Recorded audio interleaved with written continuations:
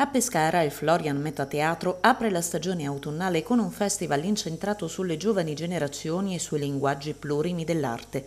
Scenari europei giunge quest'anno all'ottava edizione, con un programma di tre giorni ricco di teatro, musica, performance e videoarte, che porterà a Pescara giovani compagnie che si sono distinte nelle varie discipline artistiche protagoniste del festival. Promosso dal Florian Metateatro, centro di produzione teatrale in collaborazione con l'associazione Premio Scenario con con il sostegno della Regione Abruzzo, del Ministero della Cultura e del Comune di Pescara, l'ottava edizione di Scenari Europei si terrà a Pescara dal 22 al 24 settembre. La direzione artistica è di Giulia Basel e Massimo Vellaccio. Si tratta di un giovane festival, un appuntamento ormai consolidato e devo dire anche molto atteso dal pubblico che segue il teatro di ricerca d'avanguardia e che è pronto ad accogliere le nuove proposte. Infatti un giovane festival proprio perché eh, i partecipanti al festival festival che noi abbiamo selezionato anche grazie al premio scenario di cui siamo soci da lungo tempo, eh, sono tutti giovani under 35,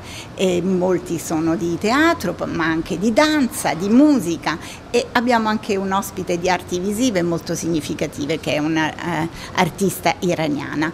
Quindi tante cose, ogni, sono tre serate, in ogni serata ci saranno tre accadimenti. E eh, appunto due di, più di, di, teatro, uno di musica di arti visive. E poi come di consueto a fine serata ci sarà l'incontro generale di tutti gli artisti del giorno con i nostri eh, Pippo Di Marca, Massimo Vellaccio e, e anche Paolo Verlengia, Sibilla Panerai, insomma curatori e esperti dei vari settori che proponiamo. Il costo del biglietto è molto contenuto, tutta la serata intera, quindi con tre spettacoli più il colloquio, a soli 12 euro e c'è anche la possibilità di fare un abbonamento che costa ancora meno per incentivare in particolare i giovani a seguire questa bellissima entusiasmante rassegna.